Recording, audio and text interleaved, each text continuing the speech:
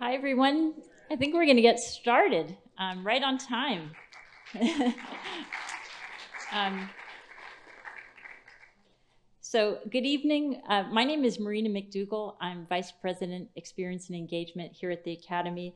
And uh, we're delighted to welcome you uh, here tonight for this very special program um, presented in partnership with Delaware Valley Ornithological Club with special guest Kenn Kaufman. DVOC, founded in 1890, is one of the longest running ornithology organizations in the United States and has been meeting here at the Academy for over 125 years with vibrant conversations, excursions, and important advocacy activity offered throughout the year. year. The Academy deeply values our ongoing partnership with DVOC, and we're excited to be working closely with uh, Naveen and Barb on future collaborations. Many of you might remember that last year during the Academy's Biodiversity Year, we presented two avifauna-related exhibitions, uh, Conversations with Birds, celebrating the role of community science in the observation and stewardship of birds, and Illuminating Birds, Drawing as a Way of Knowing, on the vital role of illustration in the art and science of understanding birds. Tonight's talk, Center of the Bird World, Audubon and His Rivals in Philadelphia, grows out of Kenn Kaufman's wonderful new book, The Birds That Audubon Missed, Discovery and Desire in the American Wilderness. It goes to the heart of the colorful history surrounding the practice of ornithology in its earliest years here in the US, which we evoked in the exhibition Illuminating Birds. Kenn has thoughtfully tailored his talk tonight to discuss the specific cultural and scientific history of our city and region. And, um, and so we're grateful for, for that. Um, it's an honor for the Academy to welcome Kenn Kaufman back to the Academy. Kenn worked here in the mid 1980s in the ornithology department and continues to have a strong fan base among our staff. Kenn is widely celebrated for his sensitive, insightful, and infectious way of inspiring the nascent birder and naturalist in all of us. I include myself as one of those people. Um, before we start, I wanted to extend a special thanks to Molly Gross, the Academy's Public Programs Manager, for her excellent work organizing tonight's program, as well as Frank Galaviz in the booth, and um, Liam O'Donnell, who at the end will help facilitate your questions. So uh, next, Barb is going to share a little bit more about DVOC. And while she comes up to the stage, I want to welcome all of our participants who are joining online tonight. Thank you, Miranda. Well, welcome everyone. And uh, we are just thrilled with this continuing partnership that we have with the Academy of Natural Sciences. Welcome everyone in the room. Welcome uh, to Kenn and to everyone on Zoom as well. Uh, check out our website, dvoc.org. It's a whole lot easier to say that than Delaware Valley Ornithological Club. So um, check it out. We have uh, programs. Our programs are hybrid like this one. So you can join us uh, online or we'd love for you to come down to the Bees classroom here at the Academy and, and join us in person. Um, we also do an informal dinner ahead of time at the Asia on the Parkway and then our famous Cherry Street afterwards. So it's a lot of fun. Check it out. In addition to our meetings, we also do a variety of walks out there. And um, in Philadelphia, it's under the Bird, um, Bird Philly logo, which I forgot to bring down. But anyhow, so, so within Philadelphia, we are branded under the Bird Philly logo. And, but we also do walks all over uh, the Delaware Valley uh, region. They're, they're free to everyone. And um, so check us out. If you want some information, um, we have cards down here, so it'll point you right to our website. So without further ado, I'm going to turn it over to Naveen, because um, as you go through the DVOC, you start off as secretary, vice president, then president. Vice presidents, I swear, they do all the work. They got to set up all the speakers.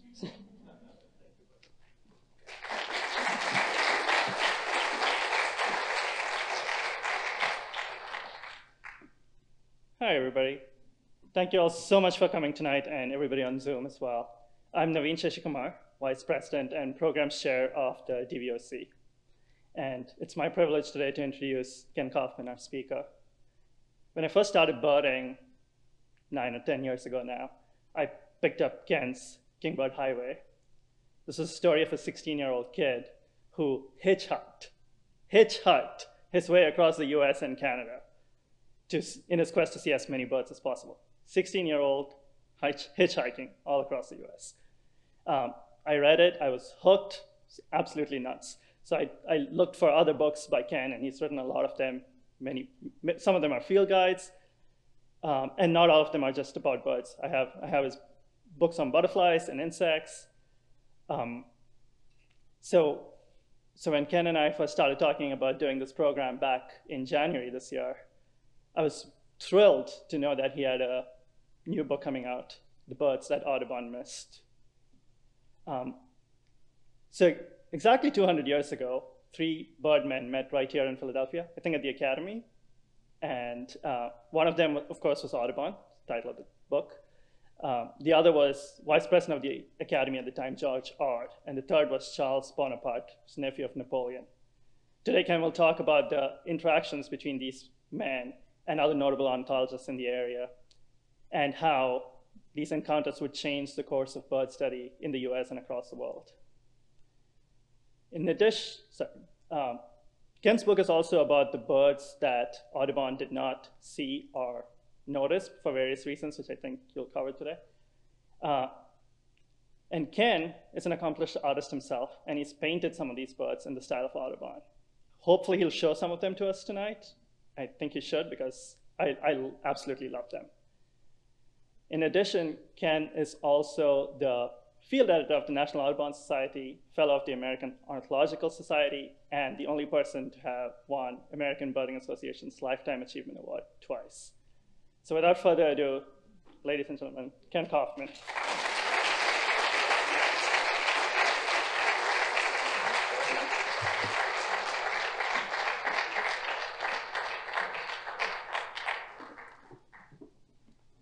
Uh, well, uh, thank you so much, Naveen and Barb and Marina. I'm, I'm so honored to, to be here, um, to be back at the Academy. This, um, uh, as Marina mentioned, this, this program is tailored specifically to this place, so this is the only time I'll be giving the program, so I'm especially grateful to those of you who are here or tuning in online. Uh, this, um, I, I, love to talk about birds. I have to rein myself in so I don't just go on and on. But um, this is such a pleasure for me to, to get to be here. Uh, when I say uh, Philadelphia is the center of the bird world, uh, that's, uh, that's, a, that's, a, carefully considered phrase. And, uh, you know, it might not be that way every year, but certainly if you look at the history, uh, Philadelphia really looms large. Of course, in United States history, we all know that Philadelphia was incredibly important um, and continues to be. But that also uh, holds for, uh, for the history of bird study. Now that's the, the book that just came out, The Birds That Audubon Missed. That's not a complete description of what the book is about. You know, uh, a book's title doesn't necessarily describe the whole contents. Um, when John Steinbeck wrote The Grapes of Wrath, it was not about grapes. Um, but it just seemed like a, a, catchy title. And so it's all about um, early history, uh, especially the early 1800s uh, of ornithology in Eastern North America. But looking at that time period, Philadelphia emerges as an incredibly important uh, center for that study. And one thing that reflects that is the fact that there's no other city in the world that's commemorated in the names of so many birds. I mean, there are, there are birds named for countries like the Canada goose or for states like the California condor. But Philadelphia actually has its own personalized birds. The mourning warbler is Geothlypis philadelphia. The Bonaparte's gull is Chroicocephalus philadelphia. And you can't miss the Philadelphia vireo, Vireo philadelphicus, says it twice just to make sure you, you get that.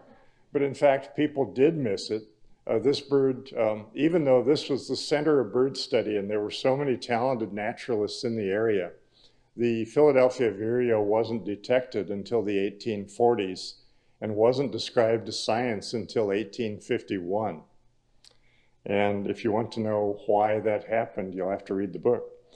But when I talk about um, a bird being known to science or being officially named, um, that, that has a specific meaning here. I'm just, uh, in this talk and in the book, I'm just talking about uh, what happened within the uh, framework of European um, or Western or Linnaean science.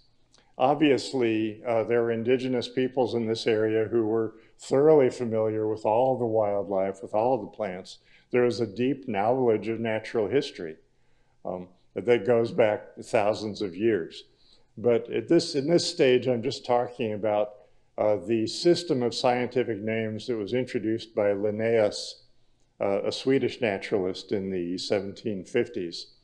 And that's the one we use today worldwide when a bird or any species of living thing has a two-word name in Latin or something close to Latin. Uh, that's following the Linnaean system. So that's just something to keep in mind. Um, I won't dwell on it, uh, but we, we have to uh, just, just remember that when we're talking about discovery. Uh, in a lot of these cases, these were birds that had been known for a long time and were being rediscovered. And I think looking at it that way uh, just makes it seem more three-dimensional for us. We're jumping into a long-standing tradition and adding to it. Now, um, even if we look at this, this narrow definition, it's still such a broad subject that we can't cover all of it. Uh, I've been told that we have to be out of here before uh, July. So, um, so I'm just going to focus on what was happening about 200 years ago here, um, around uh, 1824.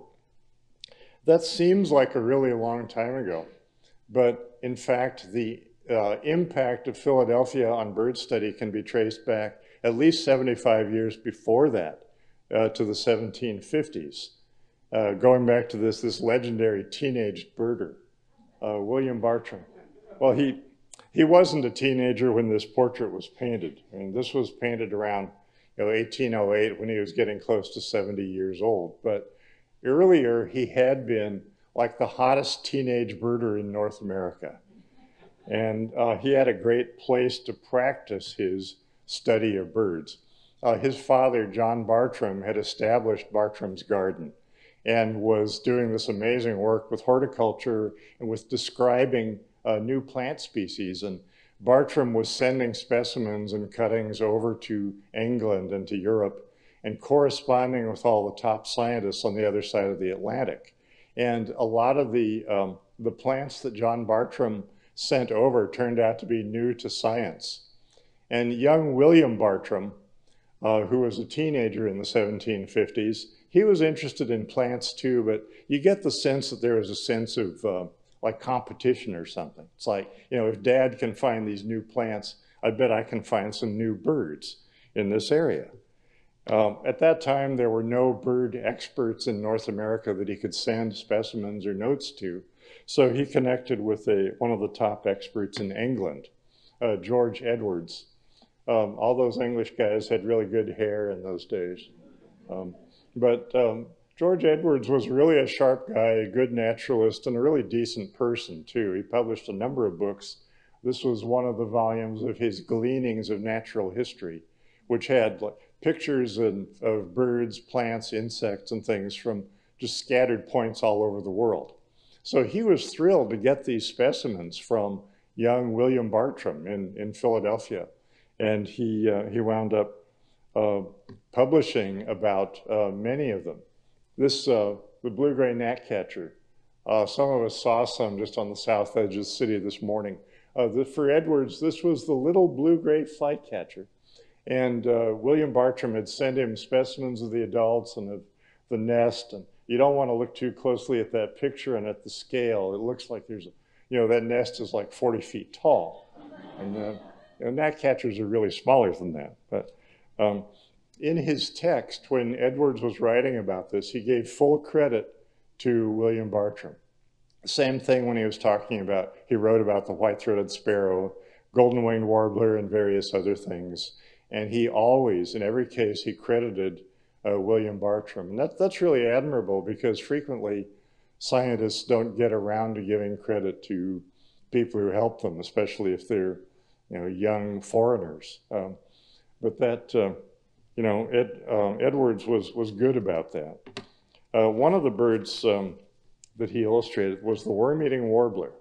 And until I was working on this book, I didn't know why we called it worm-eating warbler. I mean, they don't eat earthworms, you know. Um, but Bartram uh, had found one uh, down at Bartram's garden in July, uh, which is sort of an odd time of year. It's not that common around here. But he sent the specimen over, and Edwards was examining it and trying to figure it out. And he illustrated it here, the, uh, the worm eater and the goat beetle. And um, uh, Edwards wrote, uh, the bird seems to be of a kind between the slender-billed birds and the thick-billed granivorous tribe. Um, this worm eater I received from Mr. William Bartram, who says that it is a bird of passage and that he has observed all the slender-billed birds of Pennsylvania to be so. In other words, you know, the idea of warblers hadn't been defined at that point yet, but uh, this kid, um, William Bartram, had figured out that these, the warbler things, the ones with thin bills, were just migratory in the area. And you think about the fact that he didn't have binoculars or field guides or anything, and that's really pretty impressive. But George Edwards decided that because this bird had sort of an intermediate uh, thickness of bill. It must be something that ate worms. And uh, so uh, when this bird was finally um, given a scientific name in 1789, it was based on this publication by Edwards. And, and we've called it the, the worm-eating warbler uh, ever since. Now, in later years, uh, William Bartram focused more on plants than on birds, but he continued to be one of the top bird experts in North America into the early 1800s. Uh, there were other bird experts like, like Thomas Jefferson. Um, and one really amazing character, uh, Charles Willson Peale. Uh, Peale painted the self-portrait of himself in later years, uh, the artist in his museum. And if you look back behind him there, there are these wooden cases, 140 wooden cases with specimens of birds, all of them carefully labeled with names and numbers and so on. And it was like a, a complete American ornithology. And if Peale had succeeded in publishing his work, we would be looking back now and saying, oh, he was, he was the founder uh, of ornithology in, in North America. Uh, Charles Willson Peale hasn't gotten the credit that he deserves uh, but he's about to because Matthew Halley, Matthew Halley has been researching uh, Peale's work and has all these unpublished notes that are being published now. Uh, the website, uh, Ornithology in Peale's Museum, uh, the database is already accessible. The whole website will be available soon, and it will reveal that all these birds that were described by other people later were already known. They were already in Peale's museum. And that's going to change our whole view. So uh, our knowledge of history keeps developing in these ways. And it, to me, it's just really exciting.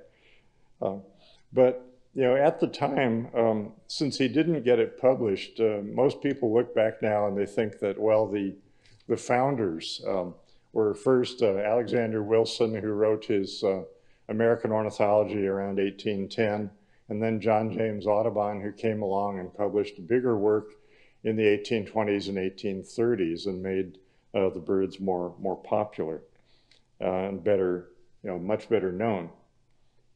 At that time, um, most of the easy birds in eastern North America had been found already. Something like the red-headed woodpecker had been described to science before Wilson or Audubon were even born. And so uh, when these guys were wandering around uh, the eastern part of the continent looking for new birds, there weren't that many easy ones left. Uh, they really had to work on it. So when Alexander Wilson uh, brought out the first volume of his ornithology in 1808, a lot of it was compilation of what had already been learned, what had already been published in Europe, or what was already in Peale's museum. He did find some new birds, uh, but he, more importantly, he compiled information that was much more accurate uh, than what had been published before. Wilson didn't really get into birds until about 1803, but by 1808 he was correcting all these errors that had been made by, by European uh, authors writing about them and just, you know, very boldly saying, well, uh, these people were all wrong and this is the, these are the actual facts. Um, uh, he, he was a good, he was a careful scientist. And, you know, for example, the fish crow, which you can find along the rivers here uh, around Philadelphia, uh, Wilson was the first to figure out that, okay, near water, uh, near the coast or along major rivers, there are these smaller crows with a slightly different voice. And he saw them in a number of places before he was willing to, uh, to write about them. Um, of course, he did, um, he did make some mistakes. Uh, Wilson, he was correct when he had uh, uh, described the bay-breasted warbler in, in 1810.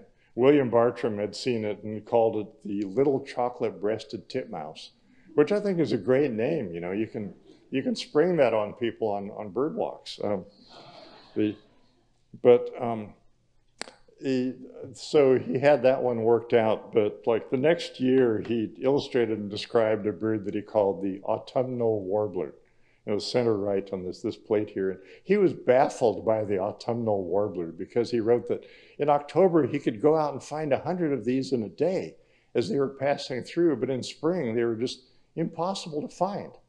But what he was seeing was, uh, he was seeing what we call confusing fall warblers, seeing bay-breasted warbler and blackpoll warbler in their fall plumage when they're uh, very similar to each other and very different from what they look like in spring. And so yeah, here's all these hundreds of autumnal warblers and what do they do in spring?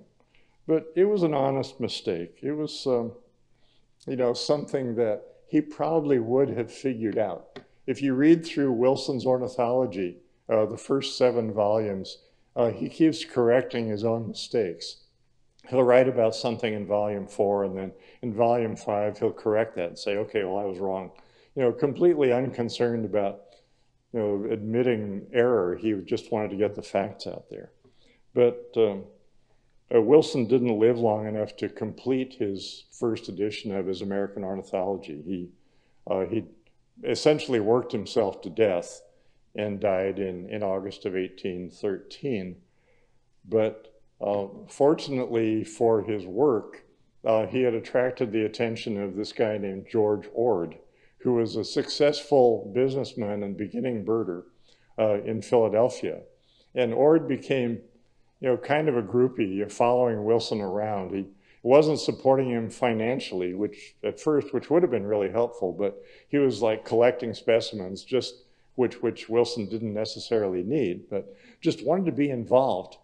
But um, as Wilson is dying in August of 1813, he names George Ord as one of the executors of his will. And Ord takes this seriously and arranges to have the eighth and ninth volumes of American Ornithology finished and published. And he goes on to become a really, a really good scientist. Um, for example, I mean, he, uh, he described the uh, ring-billed gull to science, named it for the Delaware River, Larus delawarensis. And, you know, the, you know, birders today sometimes have trouble with gulls. The early ornithologists did too, to figuring them out. Admittedly, this bird was harder to find then because you couldn't just go to the parking lot of McDonald's to, to find the ring-billed gull.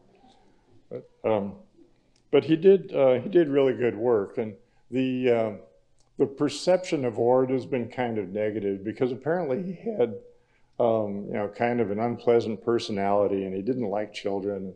So, and he criticized other people. And so um, he's maybe not remembered in a positive way, but he did, um, did really good work. Um,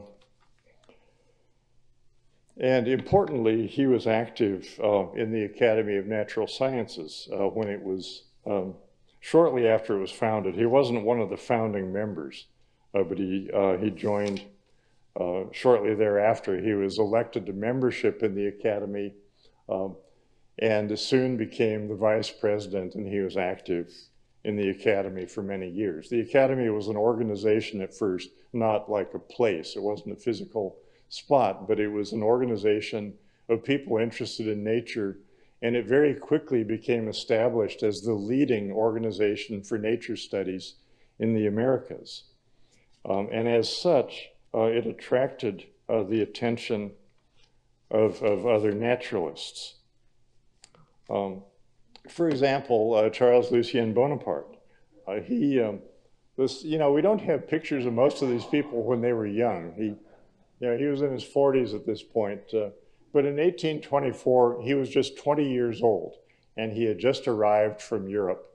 And uh, un unlike Wilson and Audubon, he arrived in North America knowing a lot about birds. He'd had a very good education. Uh, he'd been raised in privilege, and he'd had a chance to meet scientists and go to museums. So Bonaparte arrives, he's 20 years old, he quickly gets elected to membership in the Academy of Natural Sciences. Now, part of the reason he'd been um, had a privileged childhood was because uh, Napoleon was his uncle. And uh, Napoleon wasn't that much of a birder. If he had been, um, if he had been a birder, just think of all the species he could have seen traveling around Europe, all those uh, campaigns. He could have, you know, set up his military campaigns at the right time of year to catch migration. But, you know, he, uh, he missed out.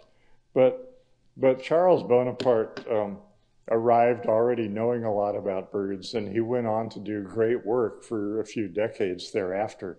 Uh, because he spent time in Philadelphia, he wound up with great knowledge of the birds of both North America and Europe.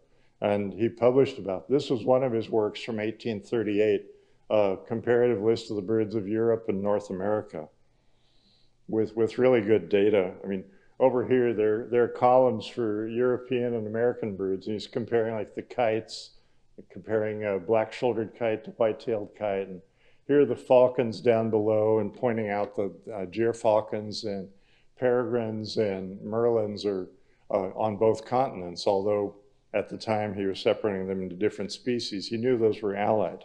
So, so really great work and, and one of the great ornithologists of the 1800s.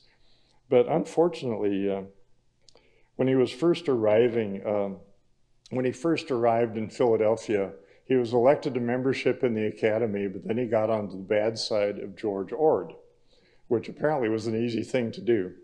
Uh, partly, he presented a paper where he discussed the uh, names of birds used in Wilson's ornithology, and Ord was not pleased that this French guy was coming in and criticizing the great Wilson. And then a short while later, um, uh, Ord referred to him as Mr. Bonaparte. And Bonaparte, he was from a royal family. You know, at that point in the family hierarchy, he was a count and not a prince, but the Americans didn't know that. And he wasn't willing to be just called Mr. Bonaparte. So they, they were clashing and there was friction between them. But that was eclipsed pretty quickly in April of 1824 when Audubon arrived in town. Now, when, um, when birders today think about ornithology in the early 1800s, if they do at all, um, you know, we tend to think about Audubon first and last. He did these, these magnificent uh, bird portraits and, uh, and he had this, these huge bird portraits. He had an outrageous personality. So he sort of takes up, you know, takes all the oxygen out of the room. Um, and know, there really, um, there were other great ornithologists at the time, but for, you know, ever since he passed away in 1851, for at least a century thereafter, he was regarded as this great hero, uh, as the greatest naturalist in America.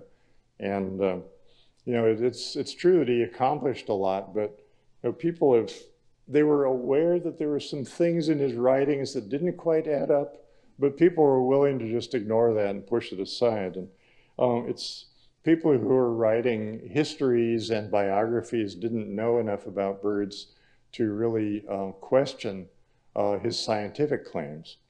And more recently, we're starting to get a more complete picture uh, of how Audubon stacks up as a scientist.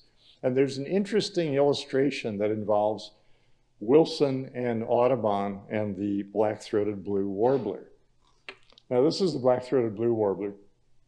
You got the, the female on the left, the male on the right, and obviously they look very different.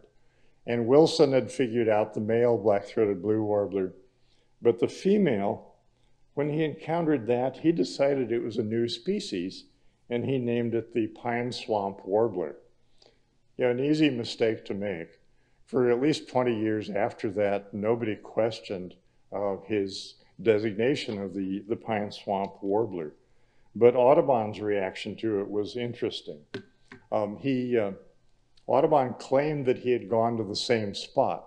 Um, Matthew Halley has, has found evidence that he actually, he was in the wrong place. He didn't go to the right place. But so Audubon goes there and not only does he find the, the pine swamp warbler, he finds a lot of them.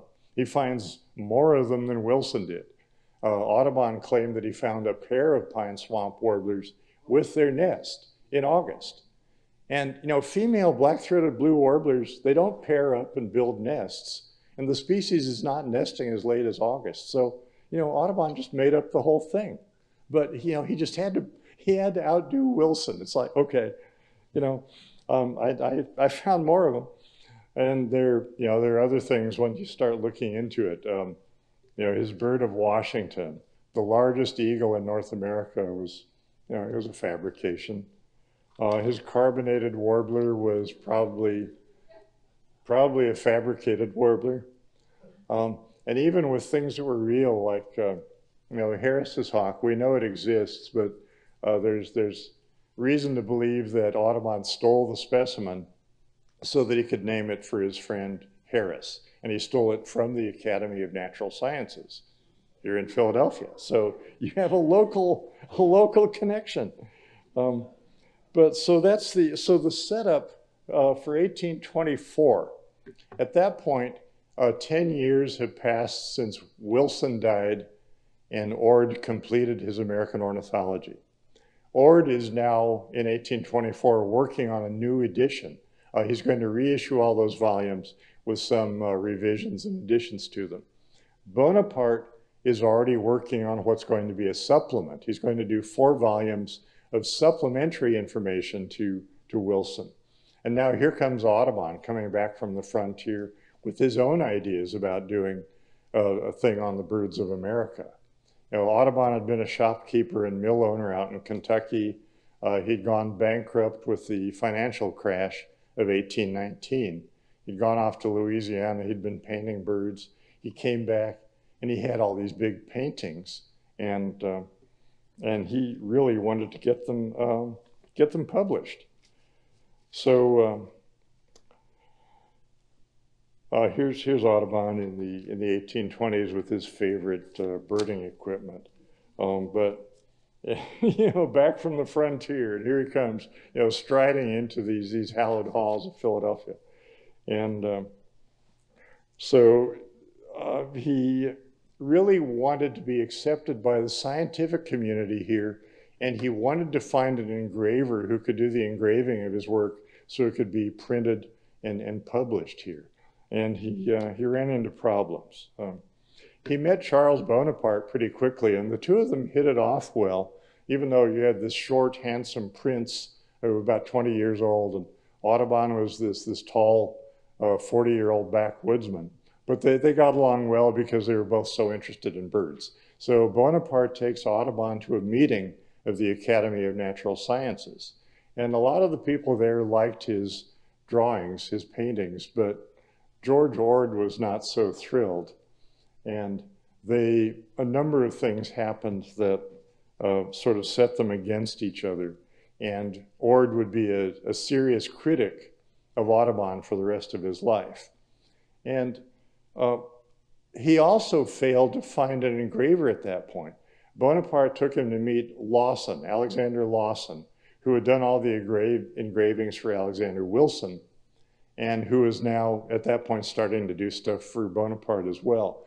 But Alexander Lawson looks at these Audubon paintings and says, these things aren't accurate, they aren't good, they, they're not suitable for engraving. And so he, uh, he essentially failed in everything he was trying to do there.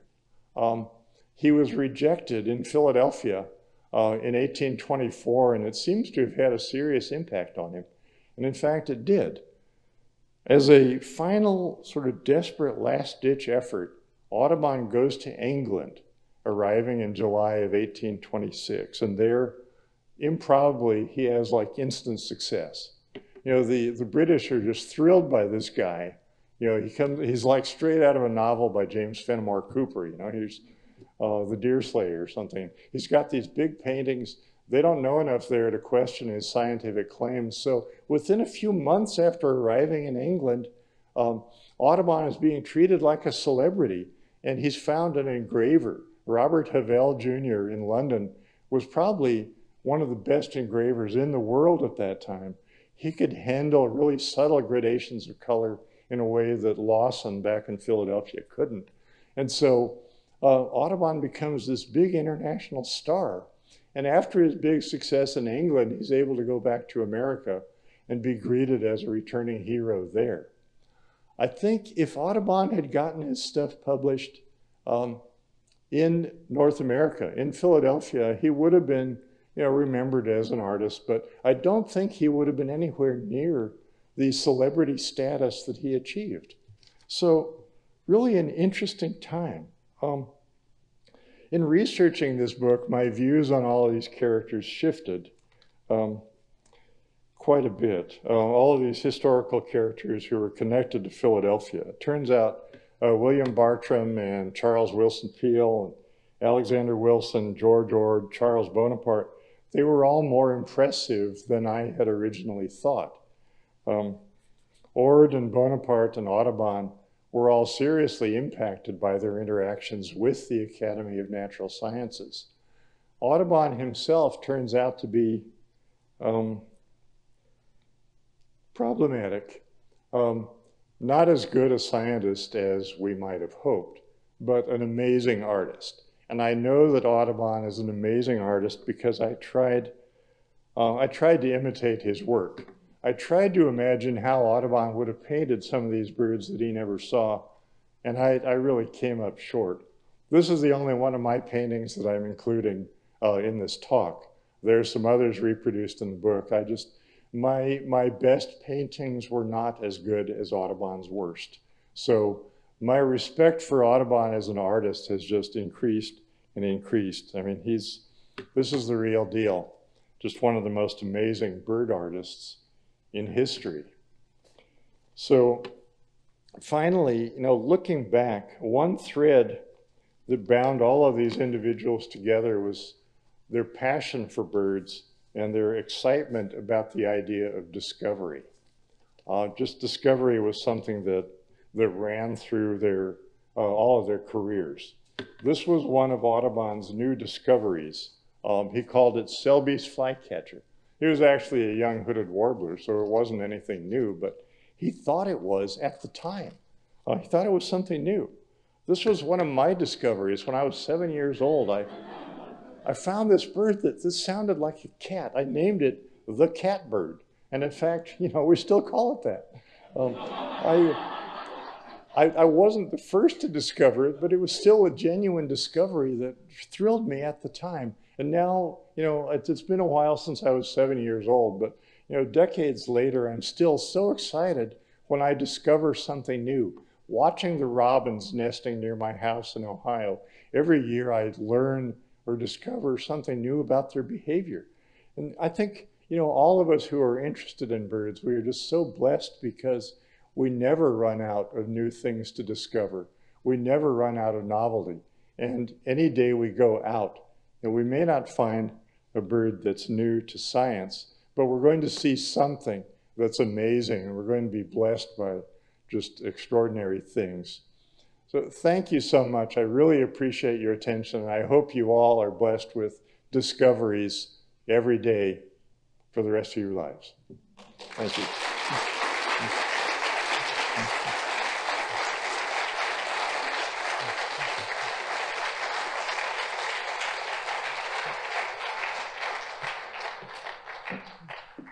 Thank you, Kenn. That was an amazing talk. I would now like to invite Jason Weckstein, the Associate Curator of Ornithology and Associate Professor here at the Academy for a moderate discussion with, with Kenn.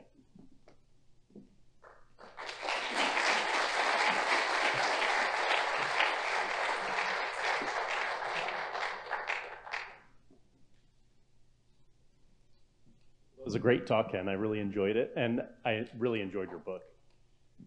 Well, thank you. I, I really appreciate that. I, I mean, you've, you've got uh, scientific credentials um, far beyond anything I could ever achieve. So if you enjoyed the book, then that's, uh, that, that means a lot to me. Oh, thanks. Yeah. Yeah, it was, um, you know, I think one of the things, you know, we, we talked a little bit about was how, you know, exploration is still happening. And, um, and there's so many exciting things. Like we, we were emailing back and forth, you know, before Kenn came and, um, you know, we were emailing about interesting discoveries that, you know, just came out, you know, that we just found out in, you know, in new journals that have come out in, in the recent past. Um, you know, all kinds of things like, um, one of the things that we talked about was the giant hummingbirds. Um, I think probably a lot of you know about giant hummingbirds and um, the largest hummingbird species in the world. And we've all thought that there's just one giant hummingbird species in the world. And a, a, graduate student at University of New Mexico, Jessie Williamson, was working on these things for her dissertation and was putting geolocators on birds in Chile.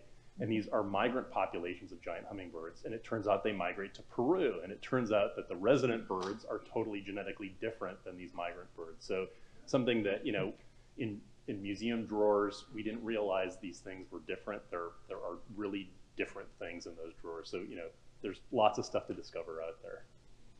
Yeah, I mean, just the idea. I mean, giant hummingbird is one of those, you know, contradictory names like jumbo shrimp, you know. and, you know, I've, I've seen giant hummingbirds in Peru, but two species? You know, now we have to go back. And, yeah, now I don't know what again. I've seen. I, am not sure what's on my list yet. I have to sort of suss it out, but. Right, and that, that's just like one example of the kinds of things that have been coming out. Yeah, um, you know, one of the other one of the other examples that we talked about was um, for example, common thrush that we have that nests here in Philadelphia and migrates through here.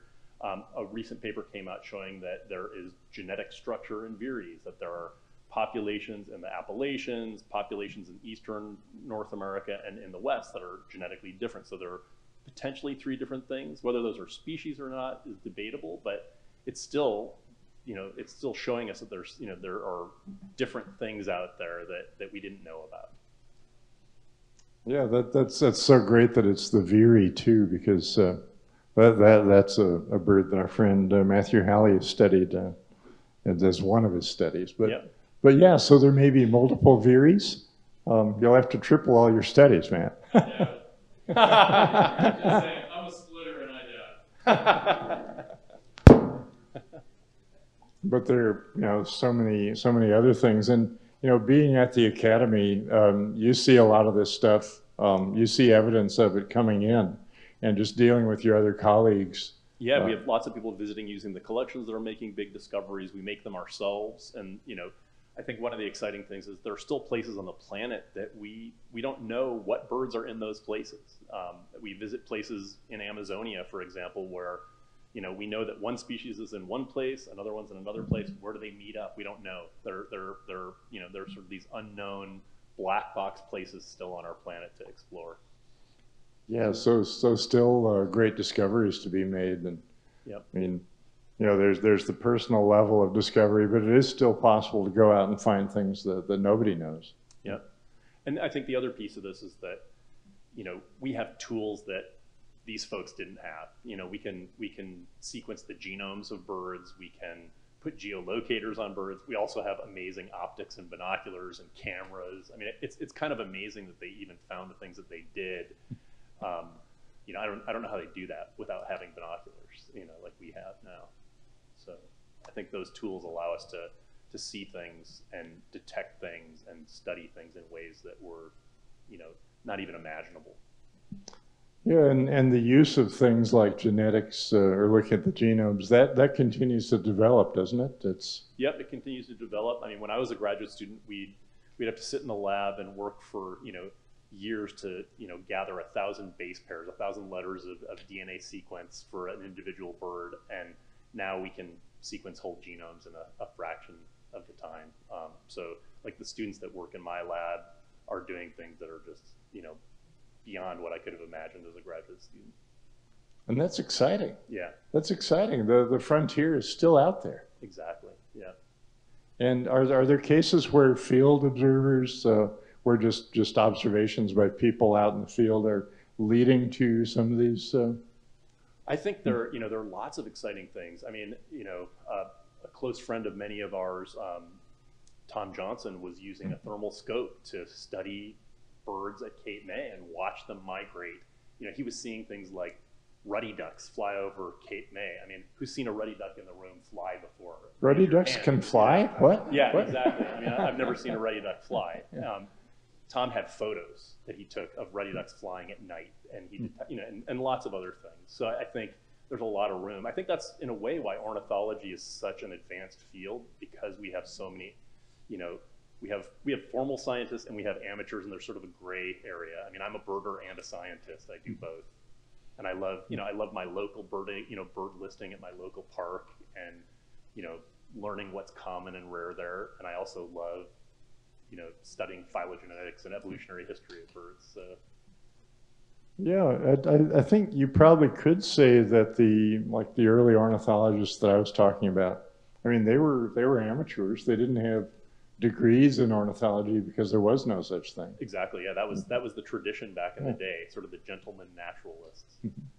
Yeah. Yeah.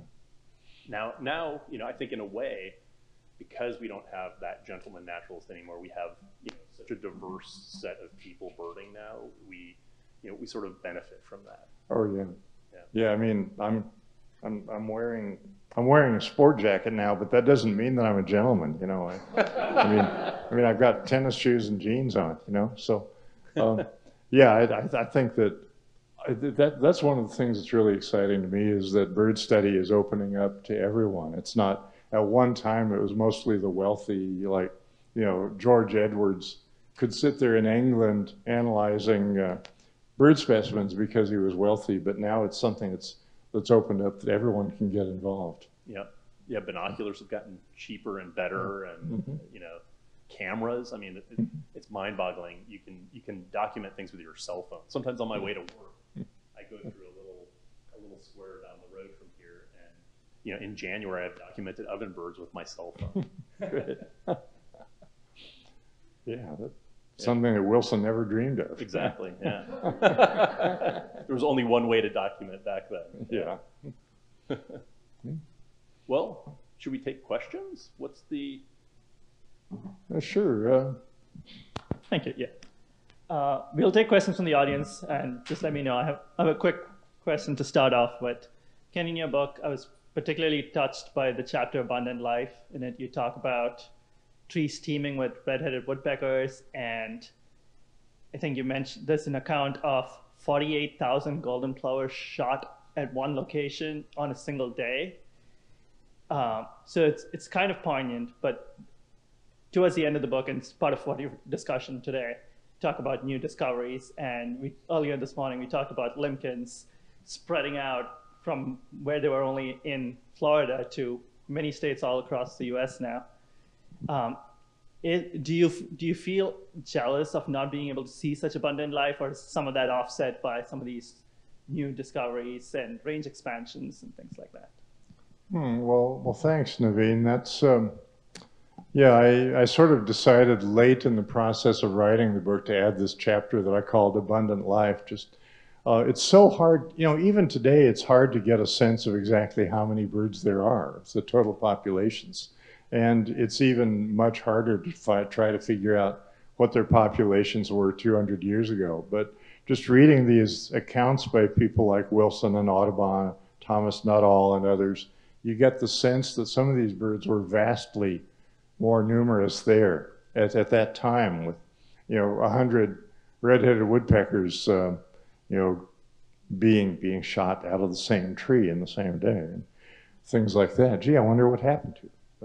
Um, the yeah, you get the sense that birds may have been much more abundant, but we don't really know that. They may have varied with with species, and now you have some things. You know, certainly bird populations have declined, but some birds are increasing, um, like like the limpkins we were talking about, uh, like bald eagles that have increased in the last few decades. Um, and I, it's, yeah, I'm, I'm envious of those who got to see this continent uh, 200 years ago, but I think we also have to celebrate the, the abundance that we, that we still have. Thank you. Questions? Oh, I need a microphone. Oh, boy, this is very formal. I just wanted to comment on the word that we, uh, that you used earlier, amateur. And amateur, well, it, it, it carries a connotation of being a dilettante, you know, you don't have very deep knowledge. Amateur means lover. So amateurs do what they do because they love it, not because they're getting paid for it, but out of love for the subject matter. Excellent point. Yeah.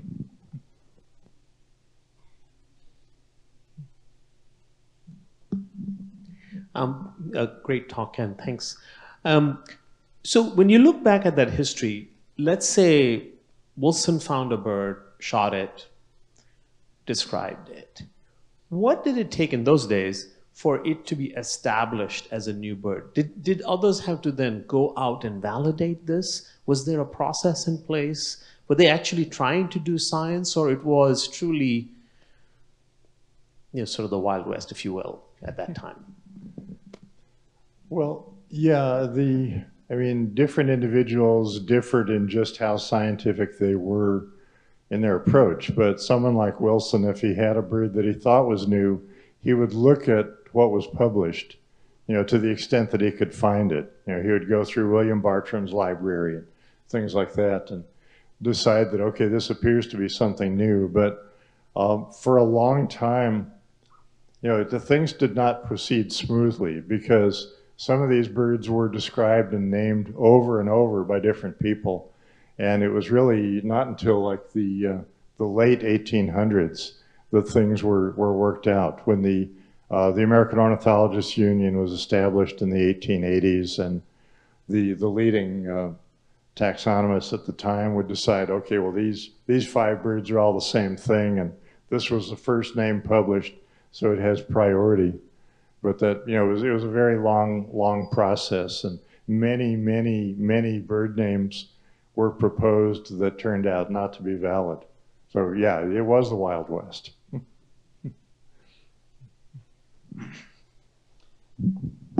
Kenn if you and your wife were able to host a dinner party and you could choose any four american ornithological personalities in history going back to Catesby and even going up to Cassatt who would you invite? What four would you invite? And how would you start the conversation?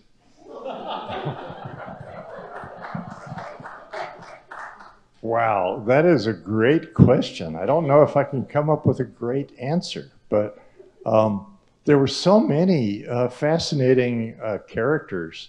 Um, I think um, uh, Florence Merriam Bailey, I would want to invite her because she uh, she had to break down so many barriers to become a successful um, ornithologist in the, in the late 1800s. Um, uh, Pierre Vieillot, whose name I'm probably not pronouncing correctly, uh, French guy who did some really amazing work, but there's relatively little known about him. We don't know much about his life. He was like, for example, he was the first to figure out that vireos were different from shrikes or flycatchers things like that. Um, oh, this is tough. Oh, do you have any nominations? You can invite a couple.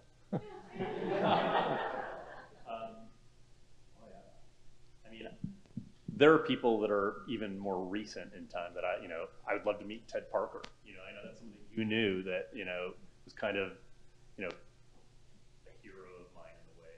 Um, you know, and, and you know, I'm fortunate to know people that knew him. Um, and um, I'm trying to think who else. I mean, there, there are a lot of Amazonian explorers that I would have loved to have had a chance to meet. How would you start the conversation? What question would you ask? Uh, I'd probably say, uh, can you please pass the ketchup? yeah, I, I don't know. I'd probably um, just, I, it would be so great to hear the different perspectives of these, these different, uh, different naturalists and different ornithologists and, and hear about their, their lives and their experiences. Um, you know, maybe start with a question like, you know, what was your most exciting discovery ever? And let it go from there.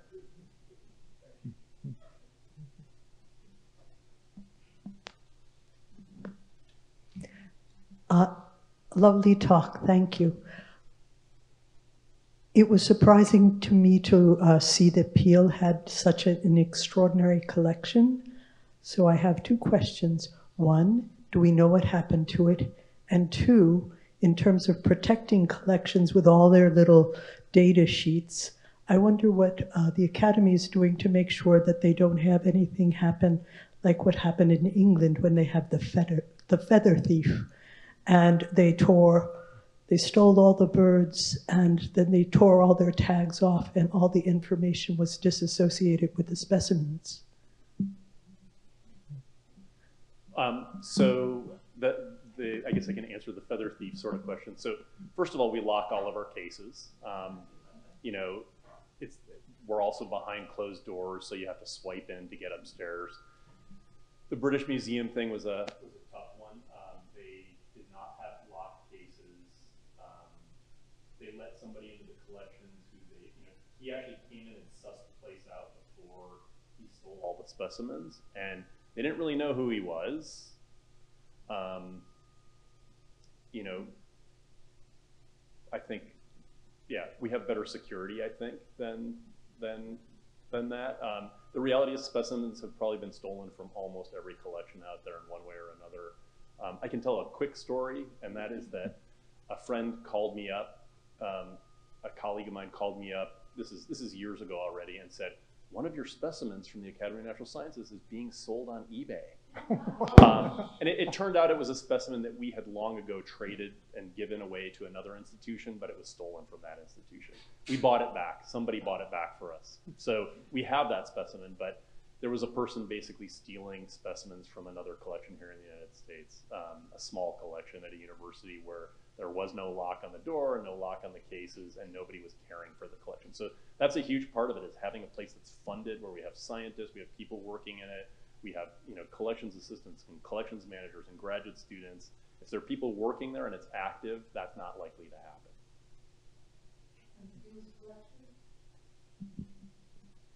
You may be better better um, that, or yeah. Yeah, uh, my impression is that we don't know what happened to most of those specimens, but uh, the world's expert on the Peale collection is in the room. And Matt, I don't know if you'd be willing to respond. I could say just a couple of things. Um, so like Kenn mentioned, uh, I just released a database called Ornithology in Peale's Museum. Uh, over the last five or six years, I've traced primary sources for 625 species of birds in Peale's Museum. Uh, in uh, all, and probably 90% of these sources are unpublished. Uh, so when Peale died, his children uh, weren't so good with money. And the uh, long story short, there was a sheriff's sale in Philadelphia in 1848, and uh, the the collection was split in mostly in half. Half of it was sold to P.T. Barnum, uh, who took the specimens to uh, New York City to his American Museum in New York City. Uh, that museum burned down in 1865. Uh, and apparently the fire started in the bird department. Uh, so that was all lost, and there was never an inventory of what was made, what, what he had from Peale's collection. Uh, the other half was sold to a gentleman named Moses Kimball, who took the specimens to Boston, and uh, he was associated with the Boston Society of Natural History, and they had a, a Boston museum at that time. Uh, the folks at uh, folks at Boston Society of Natural History didn't quite realize the, the extraordinary treasure that had just come into their lap. And they thought that this was just old taxidermy and they, uh, they gave it away, sold it to this taxidermist named Charles Maynard, who uh, took a lot, uh, basically William Brewster figured out that this had happened and quick tried to get the stuff back. But by the time they got it back, all the labels and any original mounts had been disassembled and taken off the birds. And the remnants of that collection, uh, they ended up in a barn in Massachusetts for about 20 years. And then eventually they were accessioned at Harvard at the Museum of Comparative Zoology. And to this day, I've, I've looked at all the specimens. I've been through that whole collection um, and imaged them. And you'll be able to see photographs on the website for Ornithology and Peale's Museum that'll be launched later this year. Uh, only one specimen uh, had, or one, there's, it's a pair of specimens, the golden pheasants that George Washington gave to Peale. They still exist. And they are in Harvard's collection, and is the only original label from Peale's museum left is attached to these golden pheasants, and the label is made of wood, and it says presented by General Washington. So. Now, when- one- oh, sorry, go ahead. I just wanted to say, when I say that Philadelphia is the center of the bird world, I mean, where else could you be where someone in the audience would be able to give you that kind of an answer? Matthew Halley.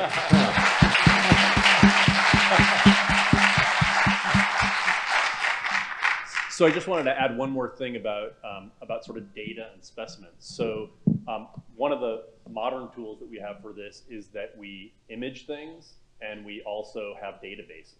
So our collection was actually the first bird collection ever databased in the country.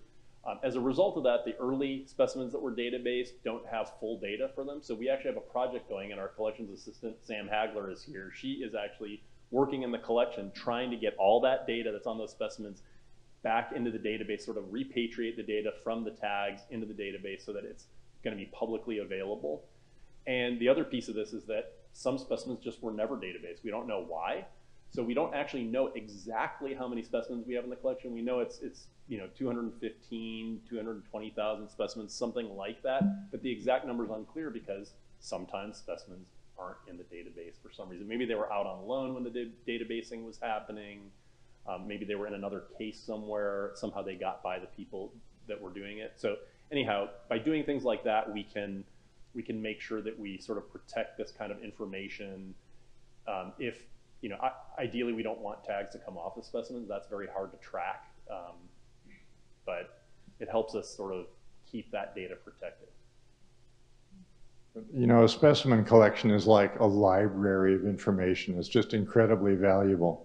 Um, any of the any of the great natural history collections are are treasures, really, for the world of science. Hi, I really enjoyed your talk and I look forward to reading your book. Thank you for coming. Um, my question is that at one point you described Audubon as a bit of a celebrity, and the, the men all seem to be very competitive with each other. And I was wondering, did they have notoriety outside of their own circles? Were people buying their books outside of the other people interested in this? Were they famous in any way? Well, actually, yeah, Audubon actually was something of a celebrity, um, and and you know maybe not so respected within scientific circles, but uh, he had become famous in England, came back to the states. Uh, when he traveled around, the you know the newspapers would write about the fact that he was in town. Uh, he could take rides on, on government ships to various places, and when he would go off on an expedition, like going to Labrador or something, uh, the newspapers would write these, you know, breathless things about Mr. Audubon has gone on another exploration. Was so it yeah, just he kind of was a celebrity. Was it just him though, or did any of the other men achieve that? Maybe they were jealous of him. Yeah, I mean, there was a lot of jealousy. Uh, no one, no one really in that era achieved that kind of fame. Uh, there have been, you know, there have been famous naturalists since, you know, David Attenborough, you know, people like that. But, uh, he was the first.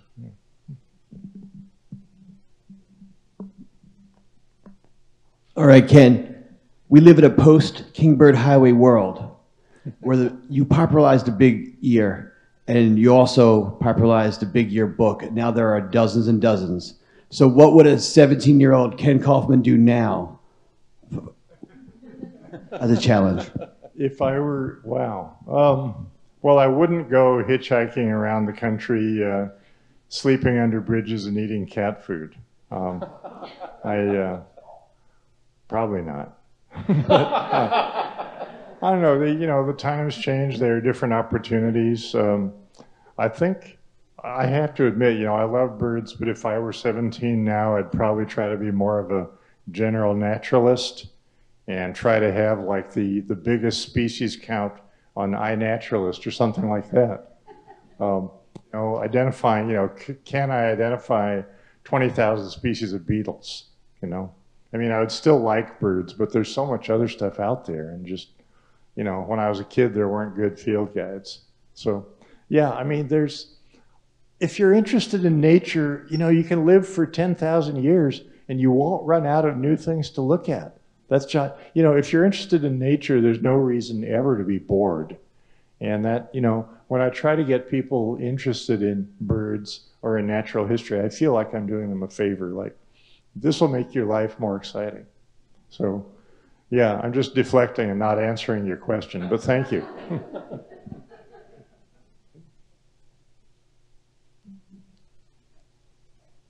Uh, hello, Mr. Kaufman.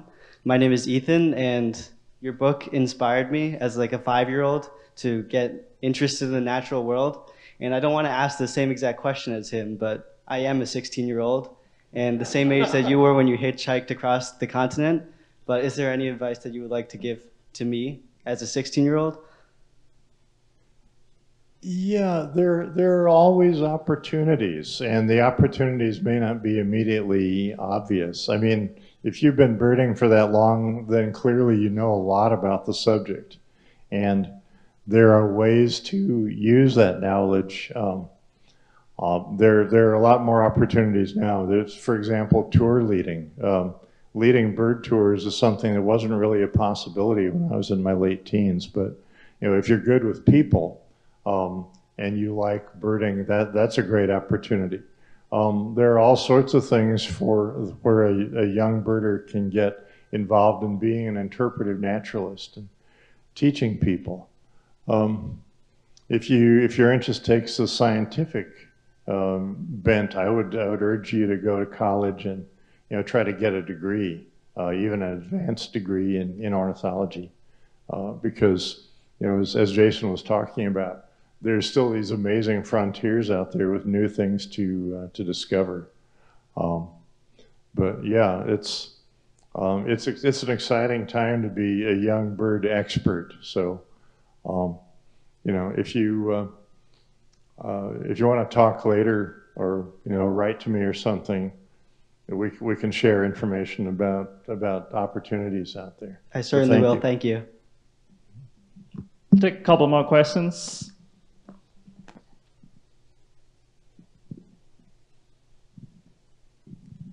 Hey, um, Kenn, I, I've always admired your artwork. I do think your work, you know, rivals some of these, you know, folks like Audubon up there. I, I love seeing the field guides, and an illustration like this is just really exciting to to check out. Could you kind of give us a, a look into kind of your headspace as you approached trying to create a piece that, you know, kind of evokes what Audubon's artwork kind of um, you know, presented to the world as a new way of, of drawing birds. How did you kind of set yourself up to emulate that? Yeah, well, thanks. I um, it was a challenge for me because my recent paintings have been like oil paintings with lots of light and shadow and not much detail, and so I spent a lot of time just going through Audubon's work and studying each thing and saying, okay, what can you say that they all have in common? And you know, all the birds are viewed at eye level. Um, they're all done life size. They all have incredible detail. There's not a whole lot of uh, light and shadow for, but there's there's enough for a three-dimensional effect. Uh, things like plants um, in the foreground are done with with great great detail. There's there's just as much attention to like a little bit of bark on a twig as there is to the feathers, and so I just I tried to study and, and get into Audubon's head, and I, I found that I couldn't I couldn't do it. Um, I couldn't match his results, but it was really an interesting uh, experiment to try. So I, I felt like I, I gained respect for his artistic genius just by trying to do that. I have to say that um, you know, some of your herons blow my mind. Like the, the Agami heron painting, mind boggling. Yeah. So anyhow, they're, Well, they're thank pretty you. spectacular paintings. Yeah, yeah, well, Audubon would have said that wasn't detailed enough, you know, you Yeah, couldn't that's a see the, beautiful couldn't see painting, the though. feathers, but thank you. Um, thank you so much, Kenn, for a truly fascinating talk. Um, so I have two questions for you, both about um, Audubon's shady actions, because I never tire of talking about the topic. Um, number one, um, what is your personal view um, about um, Audubon's plagiarism of other artists' work, um, seeing as you yourself have basically worked very intimately with his art and his style? And number two, could you please tell us more about the stolen Harris's hawk? I have not heard that story before, and I think I need to. Okay, well, the, the, the plagiarism thing, in terms of Audubon copying uh, other artists, uh, within the, the context of the times, um, a lot of artists were doing that. They, were, it was like, you know, sampling other people's music today. So there was, uh, you know, there's certainly cases where um, there are figures in one of Audubon's paintings that are copied from, um, like from Wilson. Um, the uh, uh, his his Bird of Washington was directly copied out of the Rees's Cyclopaedia, and but that kind of thing I think was considered somewhat more acceptable at that time. Uh, well, no, no. I mean, and yeah, he'd said that these are drawn from nature, and in many cases they were not. Uh, they were you know, like drawn from someone else's book. Um, and as for the Harris's hawk, again, it's it's research by Matthew Halley that has shed more light on that. Um, the the Harris's hawk, uh, or what we call Harris's hawk now, had been sent to Philadelphia by a corresponding member of the Academy uh, who was out in Mississippi. Um, and this, this guy Jenkins sent the specimen with the idea that the bird would be described and named for Samuel Morton, uh, who was at the Academy. But Audubon happened to be passing through, and it's um, it's uncertain whether he stole it or borrowed it, or maybe the Academy had a subscription to his Birds of America, and maybe Morton gave him the specimen as partial payment. You know, it's, it's hard to say. But one way or another, the specimen that Jenkins had collected that he intended to name for Morton wound up over in England with Audubon. And uh, it was painted and, and named for Edward Harris instead. Um, and uh, again, uh, Matt Halley published about that. And it's, uh, it's worthwhile looking up the paper and reading about it. Just so many amazing things that these characters were doing in those days. It was, uh, you know, they, they all they all had their foibles. They all, you know, copied or borrowed or stole uh, from others, and ultimately it all added to the total knowledge of natural history. But um, just just interesting times. They were better role models for their hard work and their curiosity than they were necessarily for their ethics. But but again, you know, that was a different time, and I don't I don't intend to sit in judgment here on people who lived in that different era. Just um, I'm grateful for the good work that they did, and it's interesting to know about the other stuff. So thank you very much. Thank you, Kenn, for spending your evening with us today, and thank you, Jason, for moderating this debate. I'm going to pass it off to Marina to close out the evening for us. But before that, I just want to say that Kenn will be signing books outside, right outside the auditorium, and there are books for sale available as well. Yeah. So um, Kenn mentioned the way that Philadelphia distinguishes itself and also um, diversity of participation in birding happening now. And um, so one way we are currently distinguishing ourselves is through the championing of diversity in birding through our Black Birders Week celebrations. And a lot of the founders of Black Birders Week actually come from this area. So next, um, not this Saturday, but Jan- um, June 1st, we will be hosting our third annual uh, Black Excellence in Birding Gala with a sneaker ball. And uh, uh, DVOC members are invited to join us, and there's a special code for you to get a $10 discount off your tickets. So um, Christian Cooper will be our guest speaker, which is super exciting.